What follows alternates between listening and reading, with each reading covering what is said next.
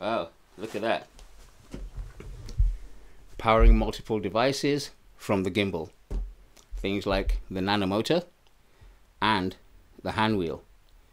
What's interesting about this is that we still retain camera control. You just saw the record light go on, so that's plugged into the camera.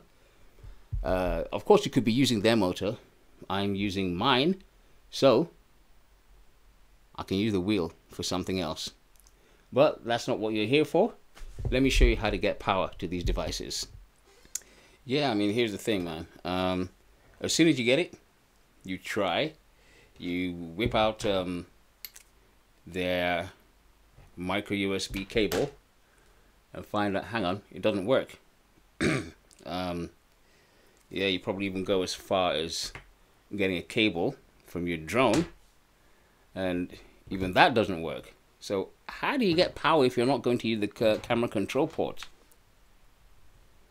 Well, this is the answer. This little DJI, it's a USB-C, um, USB-C to micro USB adapter. Uh, so these are the only things that work. I was lucky enough to get a cheap one on eBay. Uh, so, you know, some of you might look there.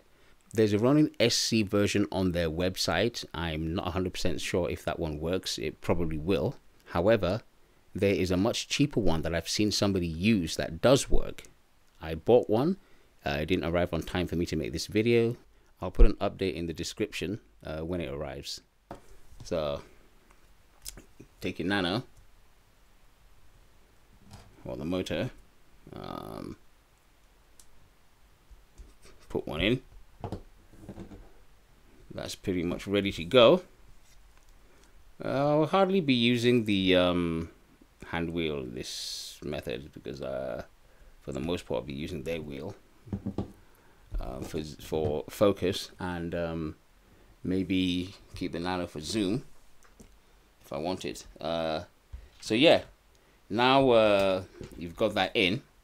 Just take their normal USB-C to USB-C cable, plug it into ports 2 or 3, and you'll have power. And yes, 5 volts is enough power for the famous Sigma 18 to 35 lens. Thanks for watching.